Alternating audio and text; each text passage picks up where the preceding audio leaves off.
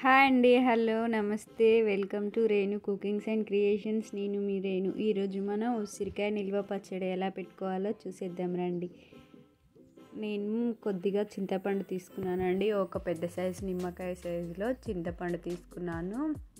అది వేడి నీళ్ళు పోసి పక్కకు పెట్టేశాను మూత పెట్టి. ఇప్పుడు ఒక కడాయి పెట్టుకొని దాంట్లో ఒక త్రీ స్పూ టూ స్పూన్స్ మెంతులు వేసాను మెంతుల్ని ఇలా దొరగా వేయించుకోండి. వేయించుకొని పక్కకు తీసుకుందాం. అదే ప్యాన్లో త్రీ స్పూన్స్ ఆవాలు వేస్తున్నాను. ఆవాలను కూడా దూరగా వేయించుకుందాం. చూడండి కలర్ మారాయి కదా. ఈ విధంగా వేయించుకొని పక్కకు తీసుకుందాం. అదే ప్యాన్ మళ్ళీ పెట్టి త్రీ స్పూన్స్ జీలకర్ర వేస్తున్నాను. జీలకర్రను కూడా కొద్దిగా వేయించుదాము.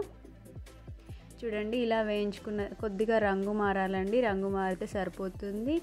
వేగిపోయాయి కదా ఇప్పుడు తీసేసుకుందాం పక్కకు పెట్టేసుకుందాం.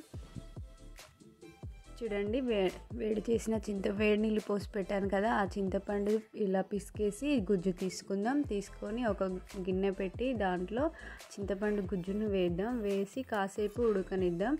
అది ఉడికితే పచ్చడిలో వేస్తే పచ్చడి ఖరాబ్ కాకుండా ఉంటుంది. అలాగే పచ్చడి వేసామంటే పచ్చడి అనేది పాడవుతుంది. మీరు చింతపండు ఇష్టం లేకపోతే అవాయిడ్ చేయొచ్చండి. చింతపండు లేకున్నా పచ్చడి చాలా టేస్టీగా ఉంటుంది. చూడండి చింతపండు ఆల్మోస్ట్ ఉడికిపోయింది. మళ్ళీ అదే కడాయి పెట్టుకొని దాంట్లో నేను ఒక టీ గ్లాస్ తీసుకున్నాను. టీ గ్లాస్తో త్రీ గ్లాసెస్ ఆయిల్ వేస్తున్నాను. త్రీ గ్లాసెస్ ఆయిల్ వేసుకొని ఆయిల్ హీట్ అయిన తర్వాత ఉసిరికాయలు ఒక్కొక్కటిగా అన్నీ వేసుకుందాం. చూడండి అన్నీ వేసుకొని మంటను sim to medium flame adjust చేసుకుంటూ ఒక పది నిమిషాల పాటు వేయించుకోండి. పది నిమిషాల పాటు వేస్తే లోపల కూడా కుక్ అవుతుంది.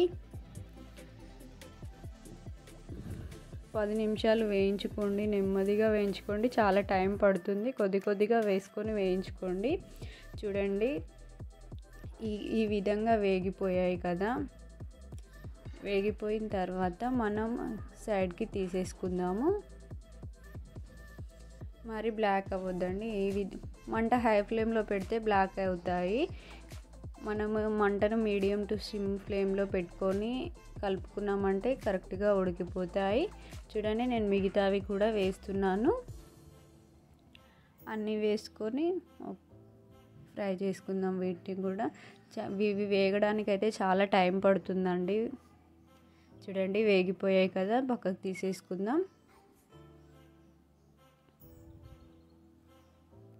ఒక్కొక్కటి నెమ్మదిగా తీసుకోండి.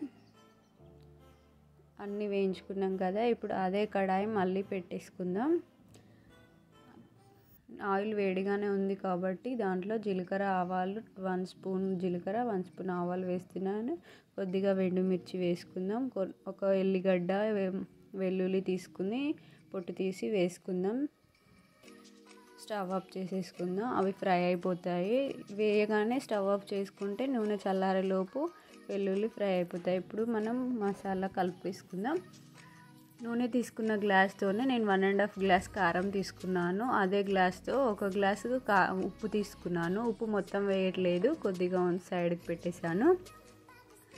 అవి జీలకర్ర మెంతులు ఆవాలు వేయించాం కదా వాటిని మిక్సీ పట్టుకొని పౌడర్ చేసుకున్నాను. త్రీ స్పూన్స్ పౌడర్ వేసాను వెల్లుల్లి కొద్దిగా కచ్చపచ్చగా దంచి వేస్తున్నాను. ఉడికించిన చింతపండు వన్ స్పూన్ అయింది అది కూడా వేస్తున్నాను. వేసుకొని ఒకసారి మొత్తం అంతా ఇలా స్పూన్తో కలిపేసుకుందాం. కలుపుకొని మసాలా మొత్తం కలిసిపోయాక మనం వేయించి పెట్టుకున్న ఉసిరికాయలను ఒకసారి వేసి కలిపేద్దాం. బాగా కలుపుకున్న తర్వాత ఆయిల్ వేసుకోవాలి. ఉసిరికాయలు మొత్తం చల్ చల్లారిపోవాలండి. వేడిగా ఉంటే పచ్చడి అనేది ఖరాబ్ అయిపోతుంది. చూడండి కలిపేసుకున్నాం కదా. మనం ఇంతకుముందు పోపు చేసి పెట్టుకున్న ఆయిల్ ఉంది కదా ఆ ఆయిల్ని దీంట్లో వేసేసుకుందాం. అది మొత్తం పడుతుందండి ఆయిల్. త్రీ గ్లాసెస్ ఒకటే గ్లాస్తో నేను మెజర్మెంట్స్ అన్నీ చూపించేసాను మీకు. నేను ఉసిరికాయలు ఇక్కడ వన్ కేజీ తీసుకున్నాను. ఇలా మొత్తం కలిపేసి ఎయిర్ టైట్ కంటైనర్లో పెట్టుకోండి. త్రీ డేస్ తర్వాత తింటే చాలా బాగుంటుంది. ముక్క టేస్టీగా ఉంటుంది. చూడండి నేను సాల్ట్ టేస్ట్ చూస్తున్నాను. చూసి మళ్ళీ కొద్దిగా యాడ్ చేసుకుంటున్నాను. మీరు కూడా అలానే మొత్తం ఒకటేసారి వేయకుండా కొద్దిగా టేస్ట్ చూసుకుంటూ యాడ్ చేసుకోండి. చూడండి పచ్చడి జార్లో వేసి పెట్టుకోండి. త్రీ డేస్ తర్వాత తినండి చాలా బాగుంటుంది. మీరు కూడా ట్రై చేసి చెప్పండి ఎలా కుదిరిందో మీకు. Thanks for watching please like and subscribe